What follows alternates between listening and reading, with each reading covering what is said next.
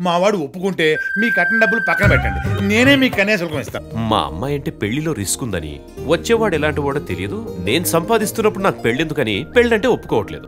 మరి మీ వాడికి ఏమైంది? కొంపదీసి మీ వాడేమన్నా తేడానా? ఆడదాని అవసరం ఆ ఒక్క విషయంలోనే కదా. మిగతావన్నీ మనం మేనేజ్ చేసుకోగలం. మాస్టర్ దగ్గరికి మీ వాడిని పంపారటగా? అవునండి. నా కొంట్లో బాగోలేకపోతే మా అమ్మాయిని పంపించా. అక్కడ వాళ్ళిద్దరే ఉన్నారట.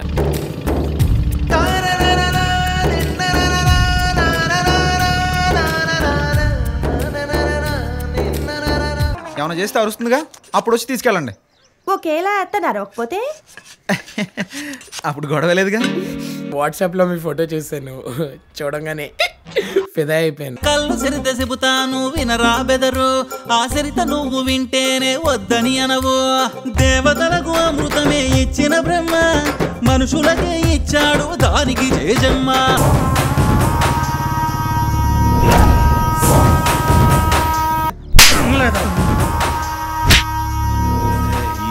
ఊళ్ళో ఎవరెలా ఉంటే నీకెందుకురా? లాలీ చూ చూ లాలీ చూ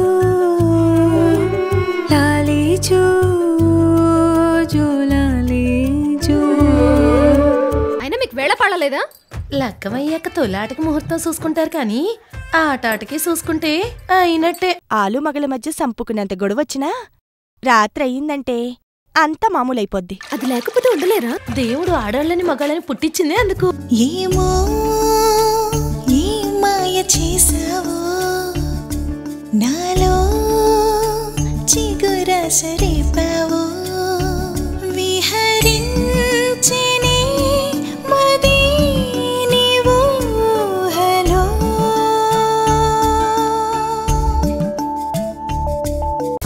నీకు సంబంధం లేని విషయాల్లో తలదూర్చు. ఇదే సిటీ కాదు. ప్రపంచంలోని పరిస్థితులన్నిటికీ కాలమే సమాధానం చెప్తుందమ్మా. ఇదిగో అమ్మాయి ఆడి మెళ్ళ తాళ్ళు కట్టాయి. ఏ అబ్బాయి కడితేనే పెళ్ళా? అమ్మాయి కడితే పెళ్ళి కాదా? ఎవరు కట్టినా ఒకటే. నువ్వు కట్టే చెప్తాను. ఆలోచించుకో.